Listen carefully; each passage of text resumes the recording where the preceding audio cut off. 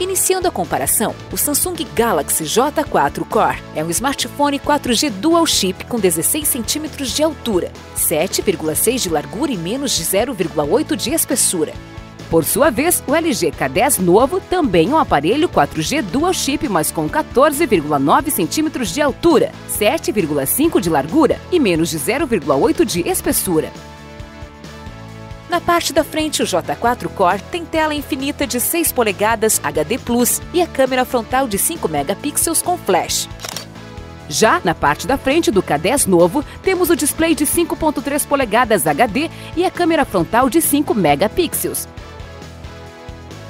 Agora, na parte traseira do J4 Core vem somente a câmera principal de 8 megapixels com flash. Enquanto isso, a parte traseira do K10 novo traz o botão Power e a câmera principal de 13 megapixels com flash.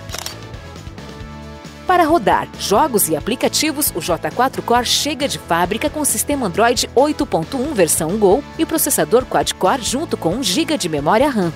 Já o K10 novo vem com o sistema Android 7.0 e processador octa-core ligado com 2 GB de RAM.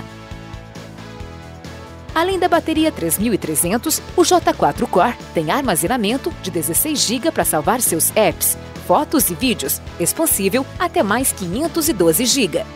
Do outro lado, o K10 novo conta com bateria 2700 e com armazenamento de 32 GB, expansível até mais 2 TB.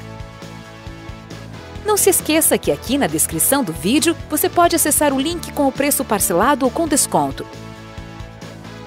E para terminar, os destaques finais do J4 Core são o uso eficiente de dados e o design fino e elegante. E os destaques finais do K10 novo são design com bordas suavizadas e a lente angular de 120 graus na câmera frontal. Demais, né? Confira as nossas dicas de aplicativos para os dois celulares. Os links na descrição do vídeo e se inscreva também no canal.